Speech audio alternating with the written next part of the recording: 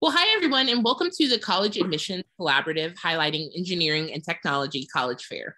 We are so excited to have you participating in this event and have some really fantastic schools here with us today.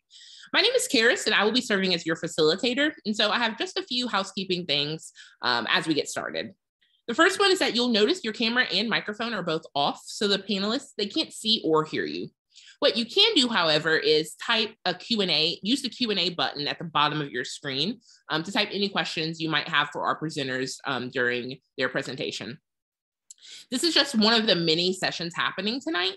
And so they are all being recorded and will be available for you at strivescan.com slash cachet.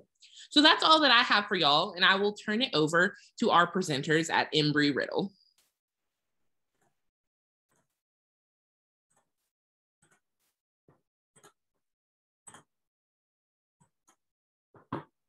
All right, welcome everybody. We're gonna go ahead and get started with our presentation.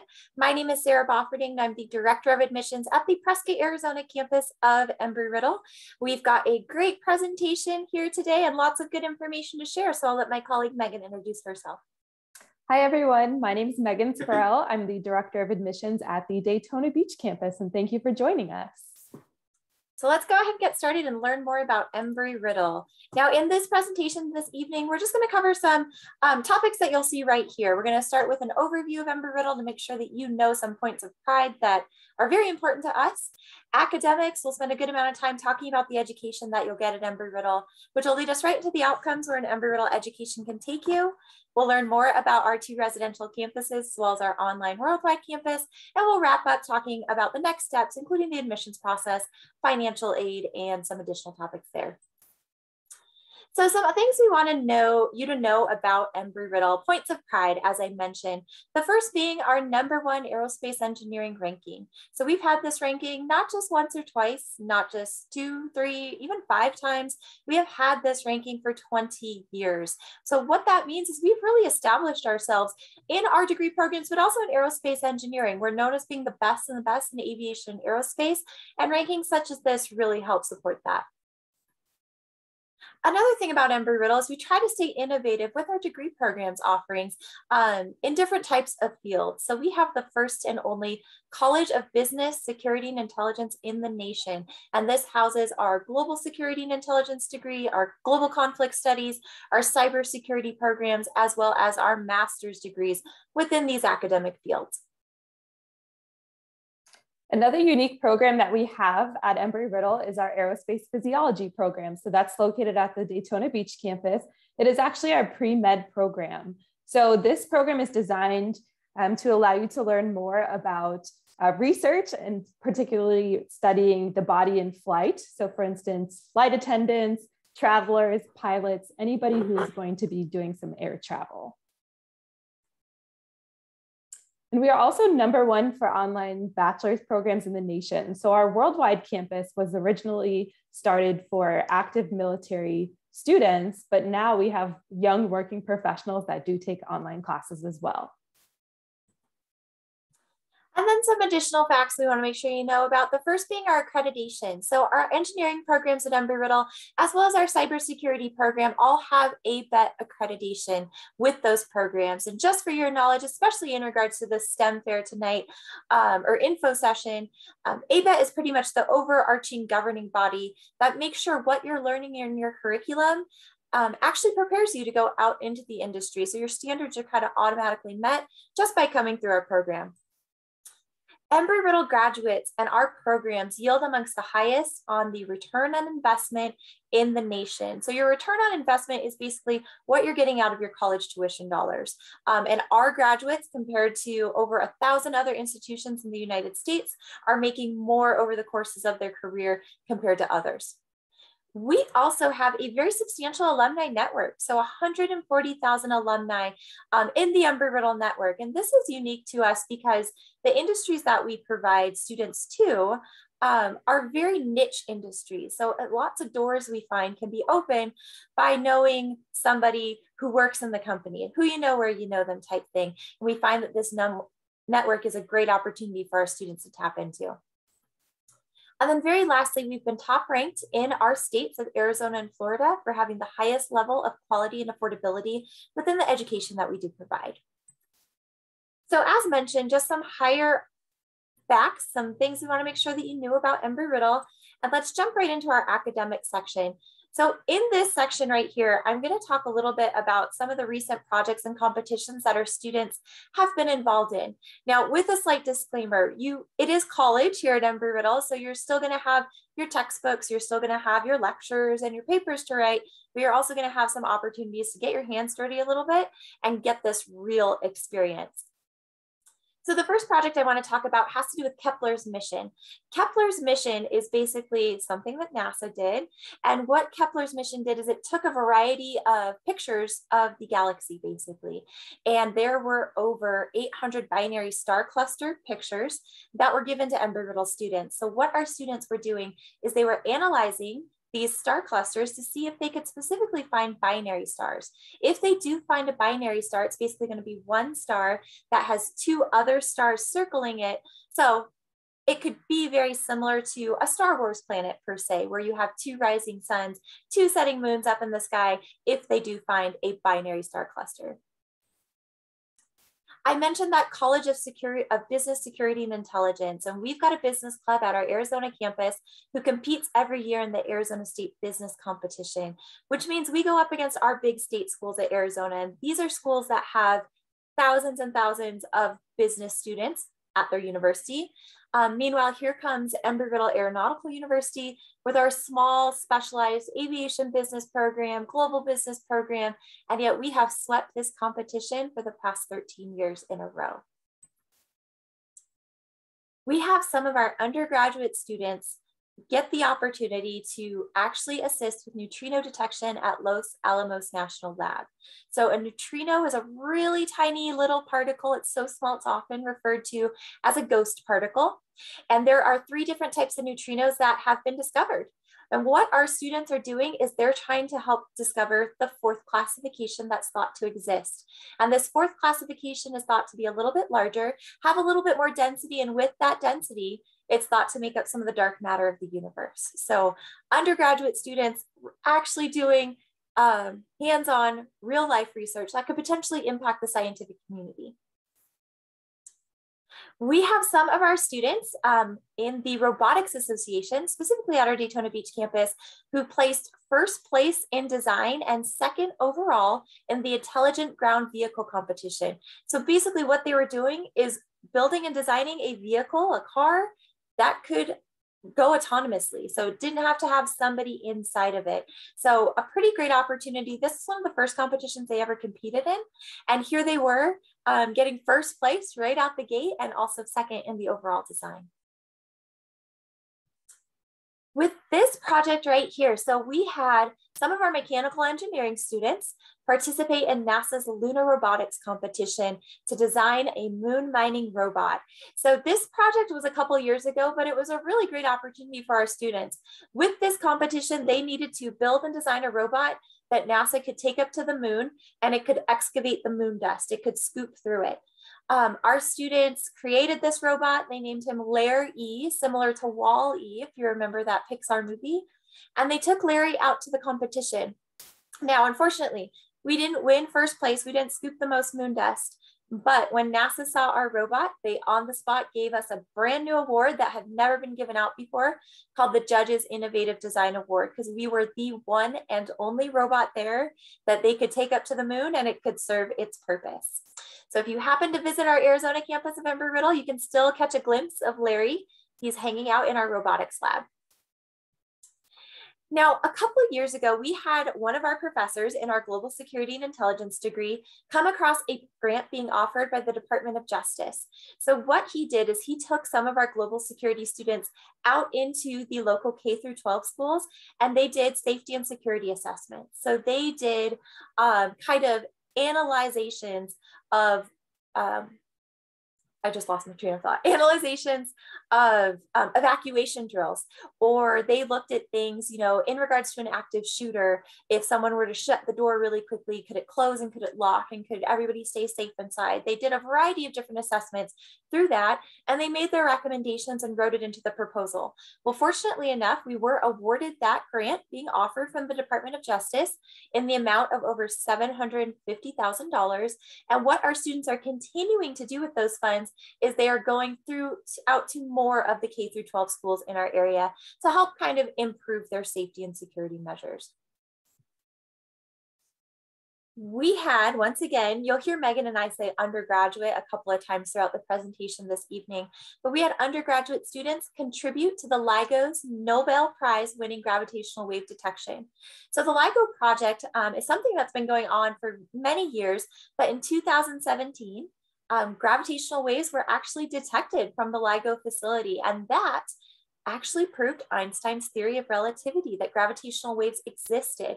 And this was so special to us at Embry-Riddle because we had three of our faculty members, but also two of our undergraduate students highly involved in this research. So technically, those young ladies who were doing the research could put on their resume that they helped prove Einstein's theory of relativity. And our very last project we want to talk about, um, we had just within the last year or so, some of our students construct a hot fire liquid rocket at our um, propulsion lab and rocket test complex on campus. So basically, this is a first for Embry-Riddle. We had students who really wanted to tackle this project. Um, they built this engine and they were able to have a successful fire and um, a test of it. So now all those students though on that project have graduated. And that's a really great opportunity for incoming students like yourselves because the next step is to fire the rocket for a 10 second burn. And then once that is done, we need something to put this rocket engine on. Um, so we need a vehicle of sort, a rocket, a, a, a type of aircraft um, for the future to continue to grow this project. Now, one other thing we want to talk about in regards to projects and competitions is our flight team at Embry-Riddle. So obviously Embry-Riddle Aeronautical University, we're big on airplanes. And um, we also don't have a football team at either one of our campuses, but this is the equivalent of our football team.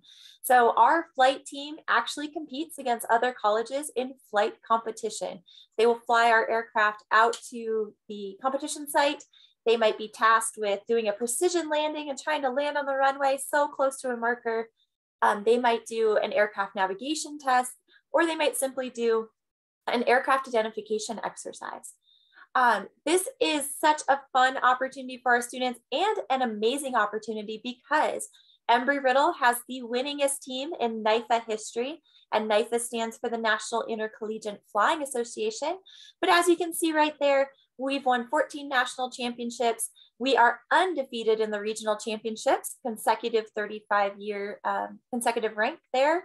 And we've also been inducted into the San Diego Air and Space Museum Hall of Fame. So if you are a student looking to pursue our aeronautical science degree at Embry-Riddle, which is our professional flight program, I would highly recommend that you consider being a member or trying out for the flight team. If you do hold a flight spot on the team, any of your practice time and your competition time are paid flight hours by the university.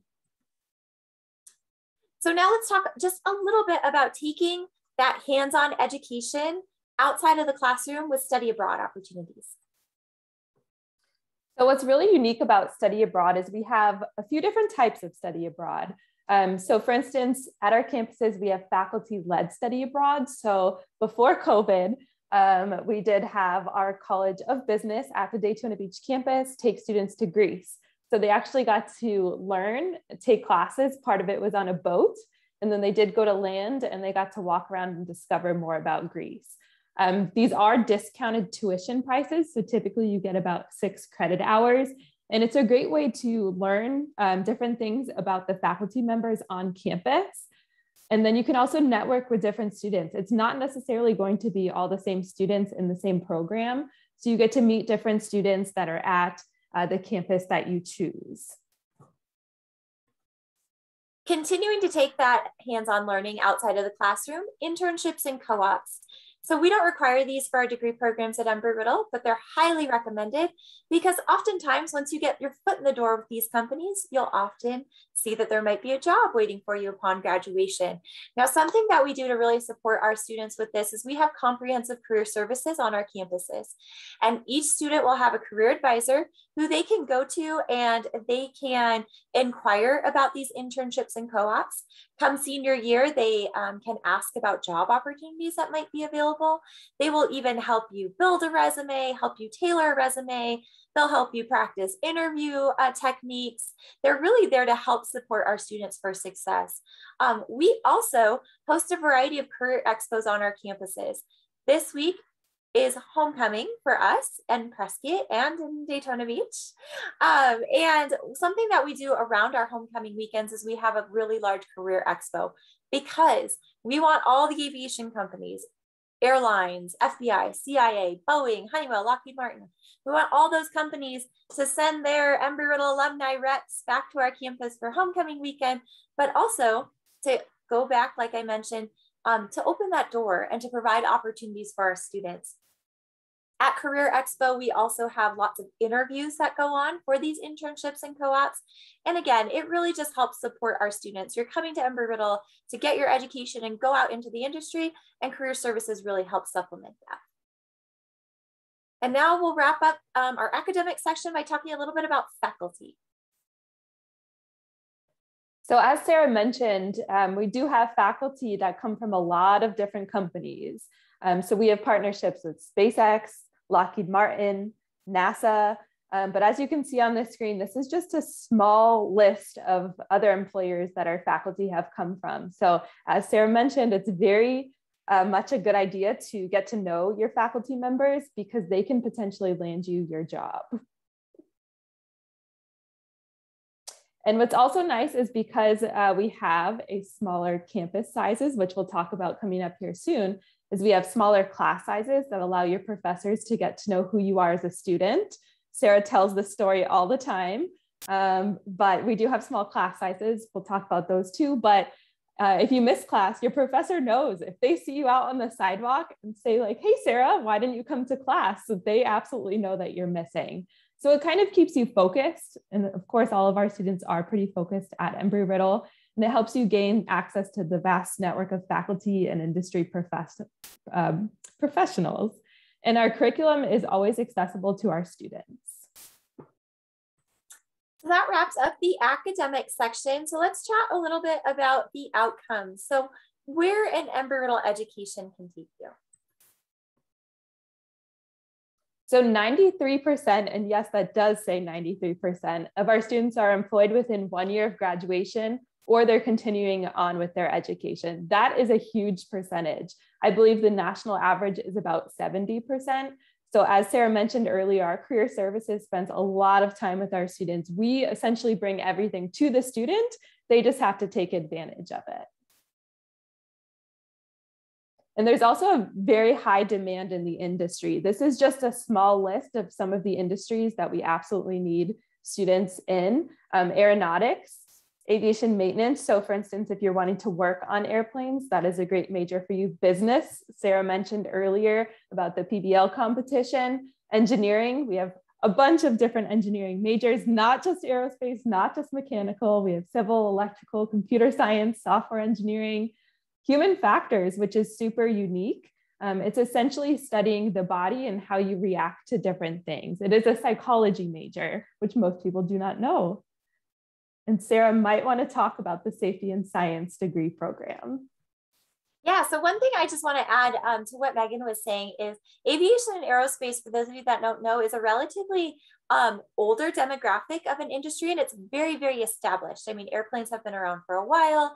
Um, and then we're venturing into a new type of field of space travel becoming a reality. So lots of new opportunities are arising, and that means lots of job openings, a real high demand for our students. And we provide all the degree programs to kind of support the industry. But as those needs grow, as um, airline travel continues to grow, as space travel becomes a reality, safety and science is always going to need to be there. You know, people are always going to be involved, and we have to come up with ways to continue to keep people safe in these types of, of exploration.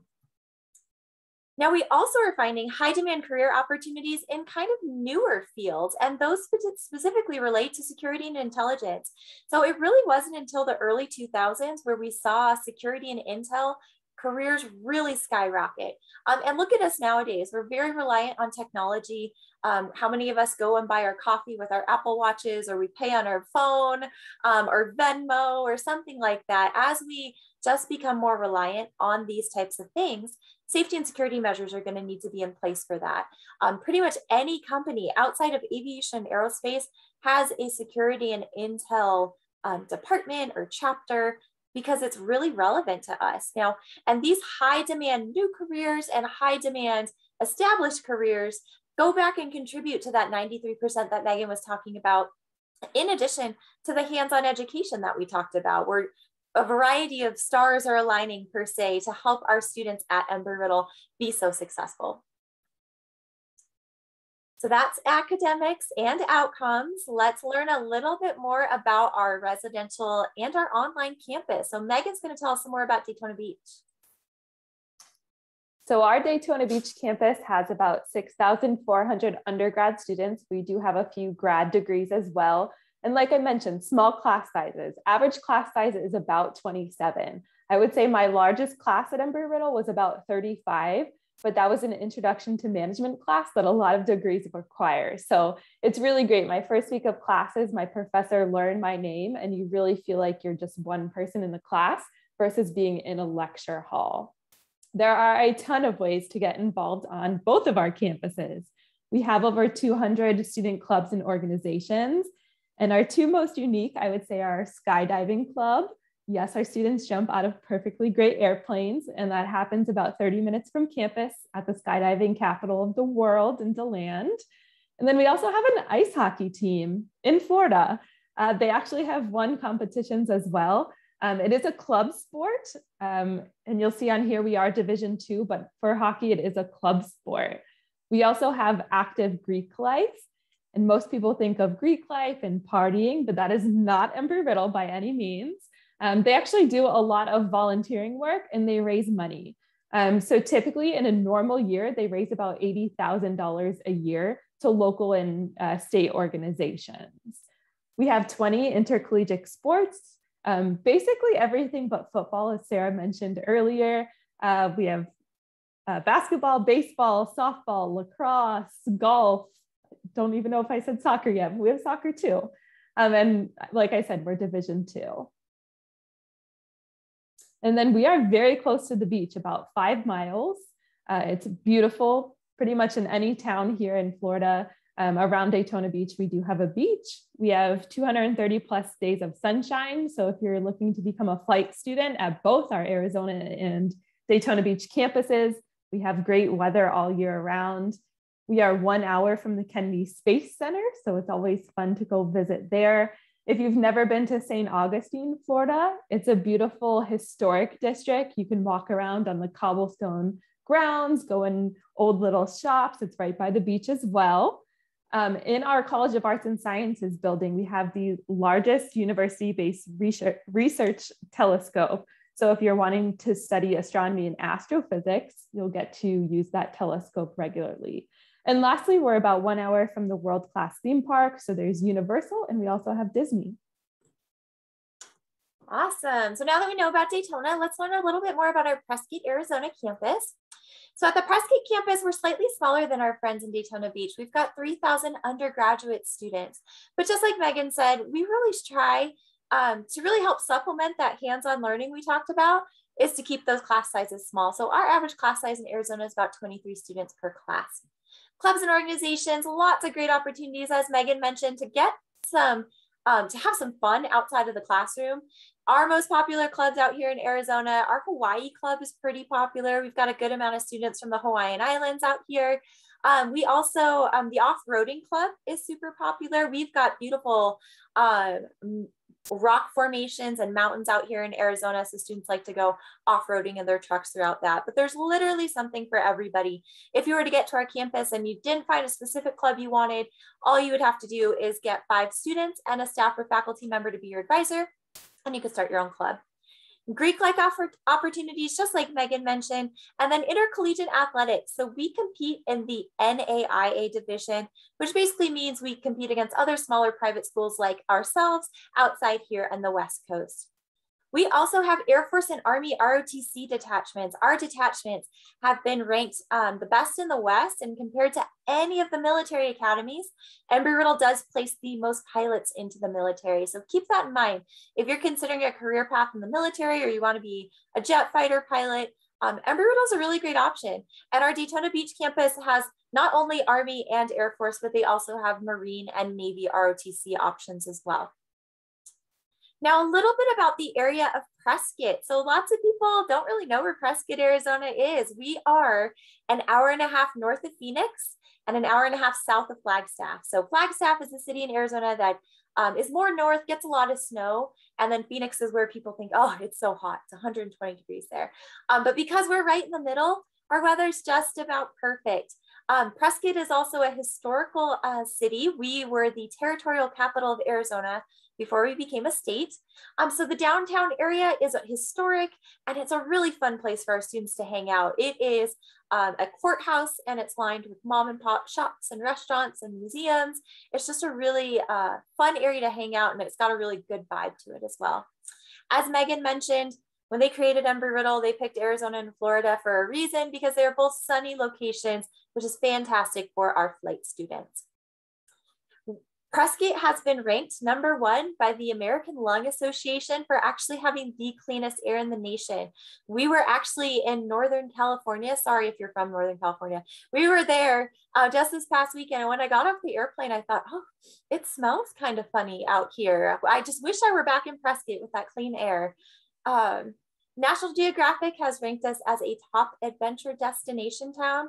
And then Sunset Magazine has named us as a best value town in the Southwest. So it's a pretty great city out here in Prescott. Um, and then the very last little uh, icon right there, we are actually home to the world's oldest rodeo. So if you do happen to come visit us, I highly recommend visiting over the summer because the 4th of July is when the rodeo happens out here and you don't want to miss it. So now that we know about our two residential campuses, Megan's going to tell us a little bit more about our online Worldwide campus. So as I mentioned earlier, we do have our online campus that originally was started for active duty military, um, but now we've definitely grown to over 17,000 undergraduate students. Um, you can do your uh, bachelor's, you can do your master's. And what's really unique is you can take classes anywhere. You just need your computer, you sign in, you have about a week to do your work. Um, and it's very structured. Your average class size is about 19, so it's never um, a ton of people in one class. It does typically involve group work. So you get to uh, meet with different people pretty much all across the world. Um, our worldwide ca- campus was a top five ranked online educator for the past five years flexible and affordable. Like I said, you can take classes anywhere, and they're number one online bachelor's degrees for veterans. So now that you know about our campuses, you're probably wondering, oh, sign me up. How do I come to Embry-Riddle? So let's learn a little bit more about the next steps. And we'll start with the admissions process. So with the admissions process, this is what you need to apply. You need to complete the application and do know that we have our own university specific application. We're not on the Common App. Um, we are rocking our own Embry-Riddle application, which you can find directly from our website. Now, when you do apply, there's normally a $50 application fee, but for listening to our presentation today, there's a four letter application fee waiver code right there on the slide, DBPC. Feel free to enter that in um, and it will waive the $50 application fee for you. We will also need a copy of your transcripts. So high school transcripts, if you're a current high school student, or if you happen to be a transfer student, send us those college transcripts. Um, but we just need to be able to assess your academic background. And for the review of the application, we can use your unofficial copies. We'll just need your official copies before you start classes with us. We ask that you send us two letters of recommendation. Some great people to write those letters would be your math or science teacher, guidance counselor at school, if you've already started flying, maybe your flight instructor, anybody who's gonna help us get to know you and who's gonna say something good about you. Then we've got some optional items. So we are a test optional institution. We have been for the past four or five years, which means it, you do not have to send us your ACT or SAT. However, if you want to, a good kind of point of reference would be if you took the ACT or SAT and you feel good about your score, you feel that they accurately represent your educational background, go ahead and send those in to us and we'll take those into consideration.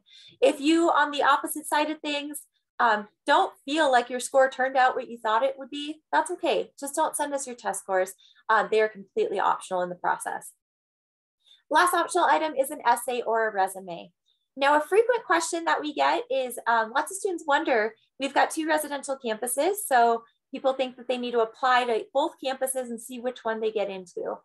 Don't do that. So we actually share the same application, the same database system, we have the same admissions requirements as well. So if you're accepted to one campus, your acceptance is going to be good at the other campus as long as there's space available in the program.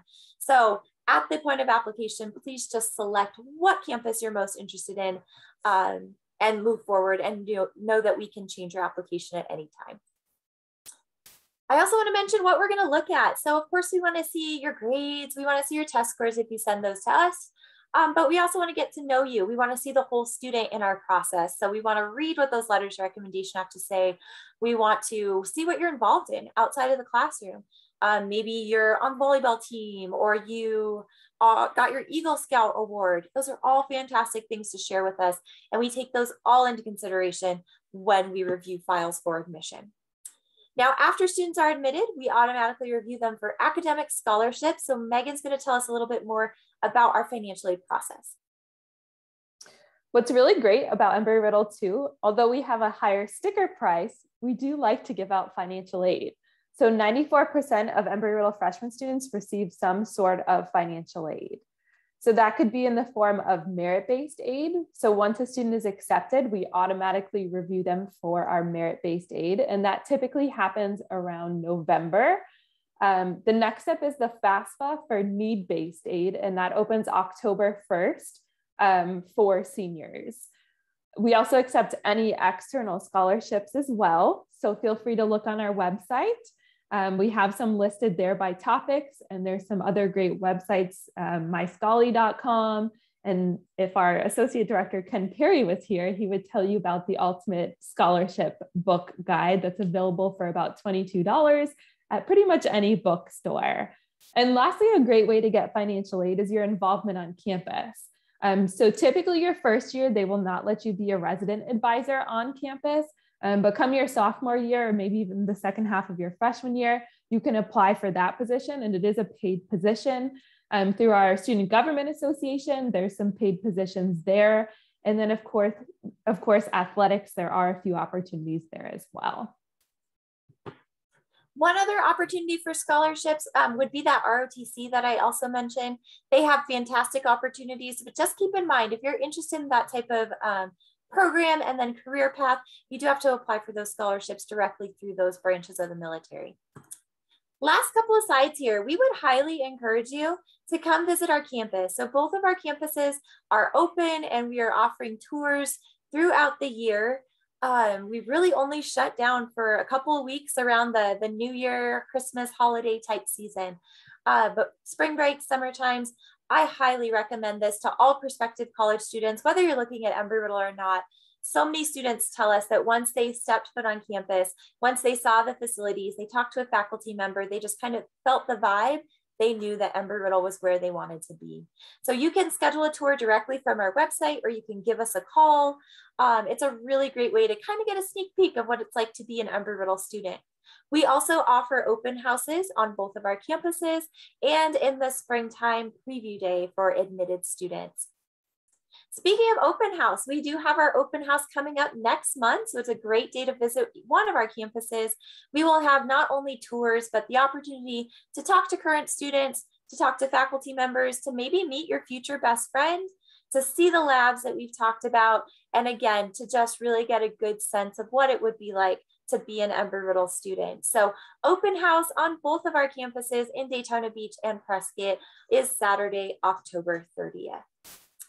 And the last thing we want to encourage you is just to stay in contact with us. We are readily available in the admissions office, but we're also available on the ZeeMee app. So this is an app you can download directly to your phone and you can join the Embry-Riddle community. And this will basically connect you with other interested Embry-Riddle students. It'll connect you to all of us in both of our admissions offices. Um, so all the admissions counselors are on it. It's just a great way to stay up to date on all things happening um, Embry-Riddle and potentially make some connections for the future. As I mentioned, please reach out to us. We are in the office Monday through Friday, 8 to 5 in our time zones. Um, and you can always email us as well, but we are here to help you along the way and to really um, just make help you make Embry-Riddle a reality if this is where you want to attend. So that concludes our formal presentation for the evening. Uh, we hope that you have learned something more about Embry-Riddle and please reach out to us if you do have any questions.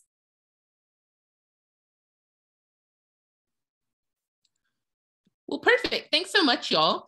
Just a couple things as we wrap up. When you close this window, you will see a quick five minute survey. And so we would appreciate any feedback that you could provide us, not only about this session, but any other sessions you attended tonight.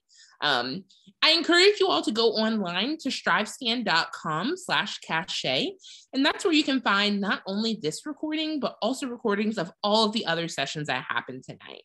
So with that, we are wrapped up. Thank you all so much for attending and have a good night.